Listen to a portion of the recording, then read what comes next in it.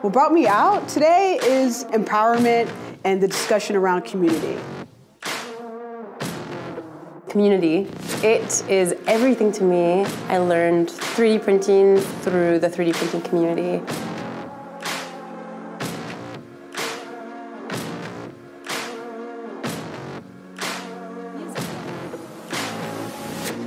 knowing who is doing what, learning about other entrepreneurs, other people who is working in this industry, how those women started their companies, how they started uh, working in 3D printing. That's super important. You learn from the person next to you, you share what you've learned to the person on the other side of you, and it's this kind of like snowball thing, and it's really cool to see how women in 3D printing chapters are growing.